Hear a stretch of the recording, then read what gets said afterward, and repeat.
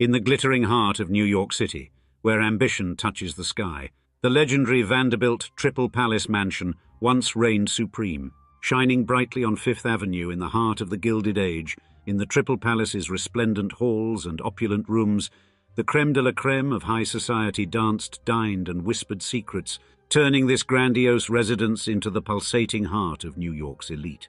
And this one-of-a-kind mansion wasn't merely a home, it was the very embodiment of extravagance and an architectural marvel that actually helped shape Fifth Avenue into the most famous street for luxury in the world. Yet, in a dramatic twist that echoes the capricious nature of the Vanderbilt fortune itself, this emblem of splendor and wealth spiraled into an unimaginable decline. In a heart-wrenching finale, this once majestic symbol of the unfathomable wealth in the Big Apple was demolished. Its downfall a poignant reminder of the ephemeral nature of riches and the relentless march of time. In today's episode, we'll retell the entire saga of the legendary Vanderbilt Triple Palace, from its heyday to its shocking downfall, as we describe. Why New York's most luxurious Gilded Age mansion was demolished. In order to best understand both the unimaginable wealth and unspeakable demolition of the Triple Palace, we must first get acquainted with its owners. You see, in the history of America's Gilded Age during the late 19th century, the story of William Henry Vanderbilt soon took center stage as his surname became a byword for ambition and architectural grandeur. The son of Cornelius Vanderbilt, William Henry was born into a world where his father's remarkable journey from a modest farmer to a titan of industry cast a long shadow. Cornelius, who started with a simple ferry service in New York Harbor, expanded his empire into the realms of maritime trade and later the burgeoning railroad industry, all the while amassing unparalleled wealth and influence. Thus, William Henry grew up witnessing his father's relentless pursuit of success, a trait that profoundly shaped his own aspirations and approach to life. His upbringing, under the guidance of a father who was not just an entrepreneur, but a tough-as-nails visionary, instilled in him a deep understanding of business and the importance of strategic thinking. Throughout his youth, William Henry often found himself at the receiving end of his father's harsh criticisms, with Cornelius frequently dismissing his eldest son as a blockhead and a blatherskite. Such harsh words left a deep impact on William Henry, who harbored a strong desire to prove to his father that he was far from being a blatherskite. Yet he never mustered the courage to confront the Commodore directly. This complex relationship with his father played a pivotal role in shaping William Henry for the enormous responsibilities he would later assume as the successor to the Vanderbilt legacy, and as the new patriarch in the family behind some of America's most grandiose early mega mansions. Then the death of Cornelius in 1877 marked a turning point for William Henry, who inherited not just a colossal fortune, but also the onus of perpetuating the Vanderbilt dynasty. Consequently, in 1878, William Henry seized the moment to establish his own legacy and honour his father's grand visions by commencing the construction of what would be known as the Triple Palace. This endeavour was more than just the creation of a sumptuous residence. It was a tangible manifestation of the Vanderbilt family's ascending social prominence and William Henry's personal ambitions. Indeed, the project was likely a deliberate and strategic move to assert his worthiness as the steward of the Vanderbilt name, and to demonstrate that he had indeed emerged from the shadow of his father's overwhelming presence. Therefore, it is reasonable to assert that the construction of the Triple Palace was not just an architectural feat, but a psychological triumph for William Henry.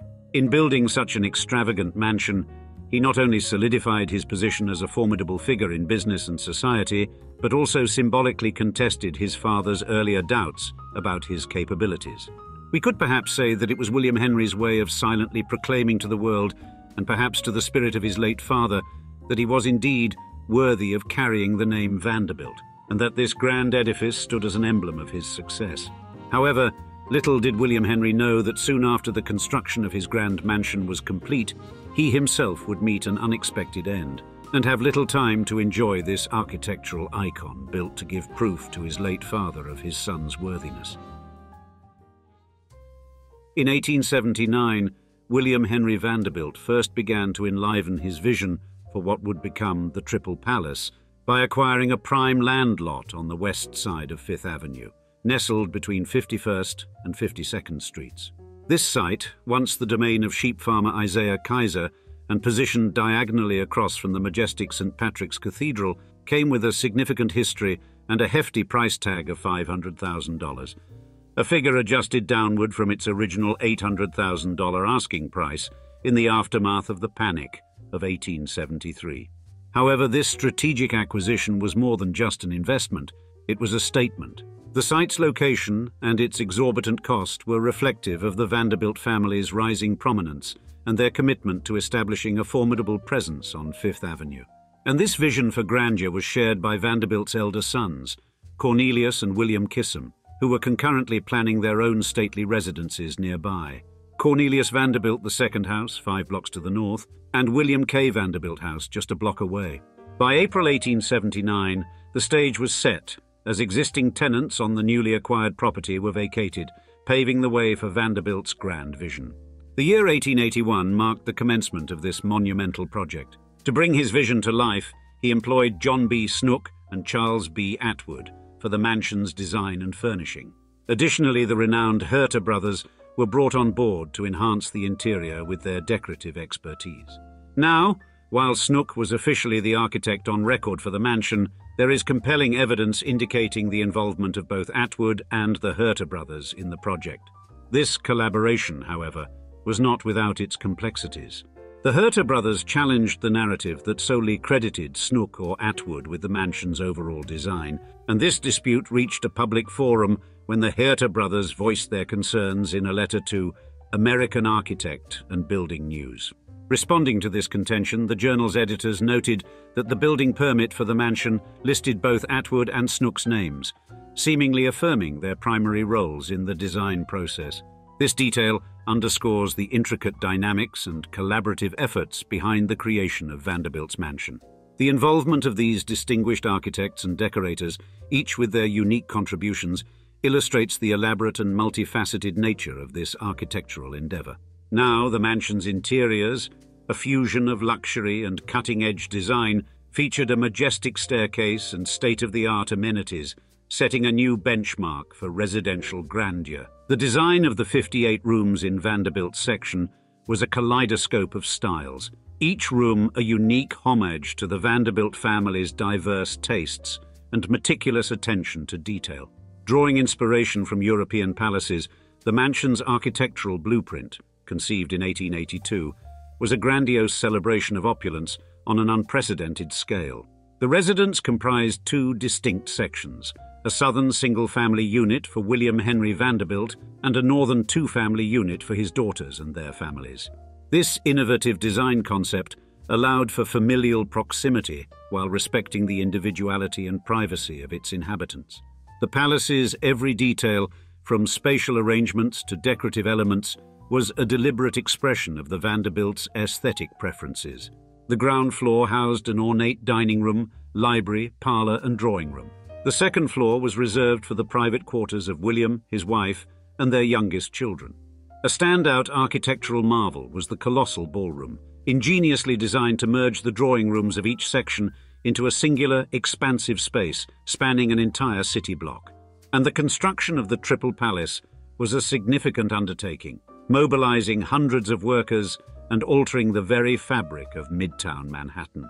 In 1883, the mansion pioneered the use of steel framing, a revolutionary technique that would later become synonymous with skyscraper construction. Additionally, imported marbles were integrated into the design, enhancing the mansion's luxurious appeal.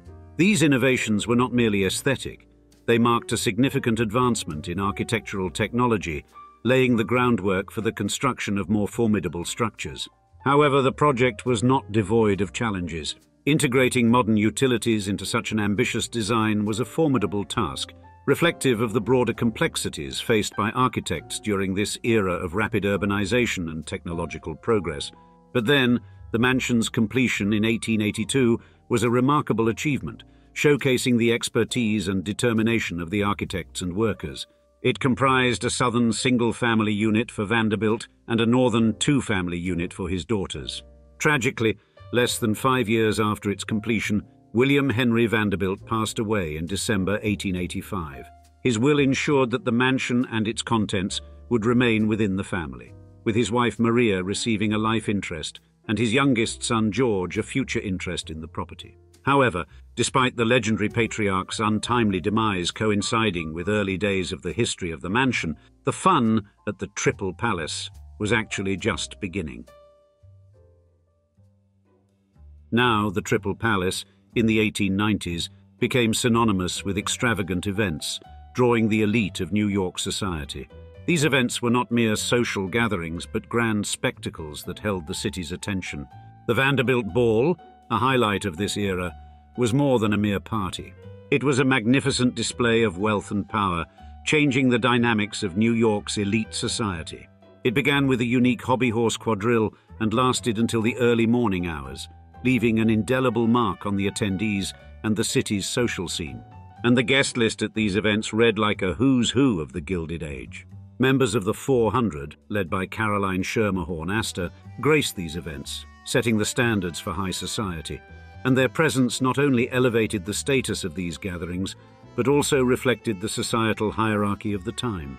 Now, entertainment at the Triple Palace was diverse and opulent. Theatre troupes, ventriloquists, hypnotists, poets, comedians, choirs, and orchestras were regular features, providing a rich tapestry of experiences, and art exhibitions and lessons in singing, dancing, and cooking added to the cultural richness of the mansion offering a variety of experiences to its distinguished guests. The media of the era played a pivotal role in amplifying the impact of these events. Newspapers, with their banner headlines and detailed coverage, brought these gatherings into the public domain, creating a buzz around the Triple Palace and its events.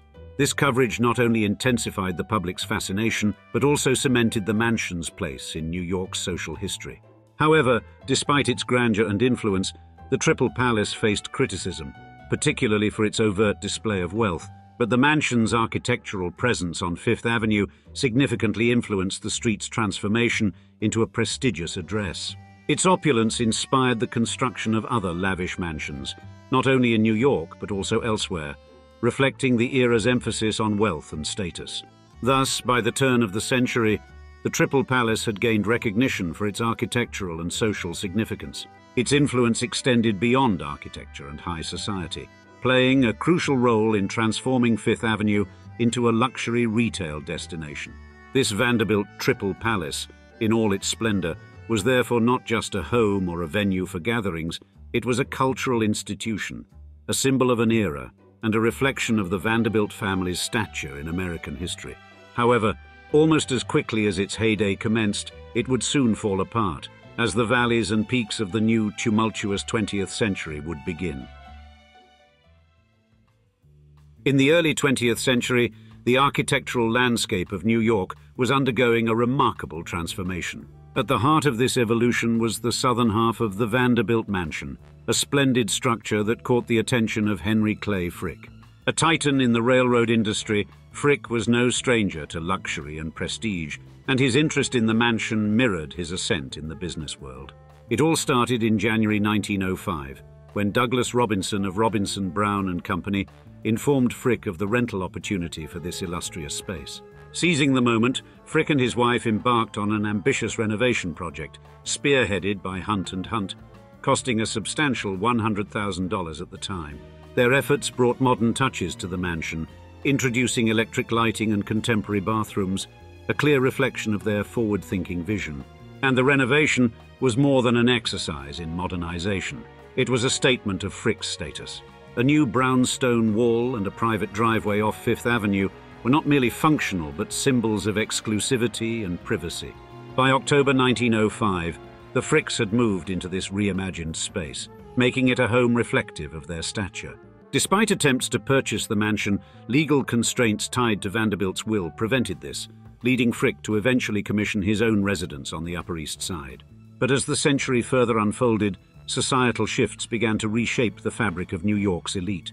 The preference for more intimate and discreet living spaces marked a departure from the grandeur of the Vanderbilt Triple Palace. The mansion, once a beacon of luxury, found itself at odds with the evolving ethos of high society.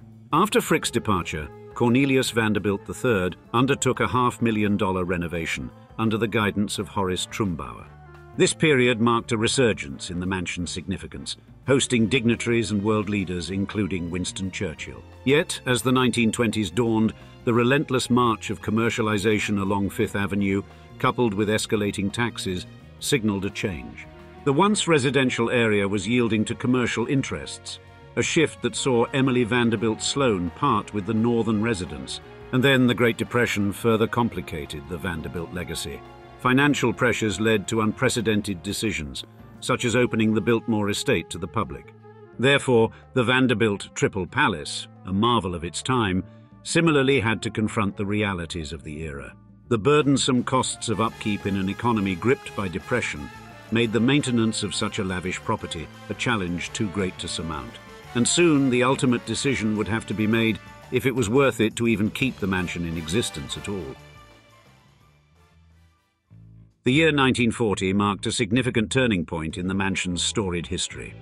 Cornelius III parted with the southern portion of the Triple Palace, selling it to the William Waldorf Astor estate. This transaction, executed contrary to the desires of the original builder and owner, the aforementioned William Henry Vanderbilt, signalled the commencement of a transformational era for the property. The Astor estate, keen on redevelopment, then sought to repurpose the site, which had become enveloped by burgeoning commercial enterprises, including the notable Rockefeller Center.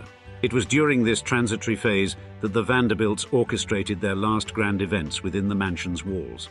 A brief glimpse into its majestic interiors was offered to the public in July 1941, with an admission fee aimed at supporting the United Service Organizations. Moreover, an American Red Cross benefit in February 1942 saw over a thousand guests grace its halls. However, the demise of Cornelius III in March 1942 marked an end to its era of grandeur, as noted by the Herald Tribune. Then the Astor's vision for the site materialized in 1944, with plans for a commercial establishment. The following year witnessed Grace, Cornelius III's widow, auctioning off the Vanderbilt art collection, a sale that resulted in a financial loss compared to the collection's original value.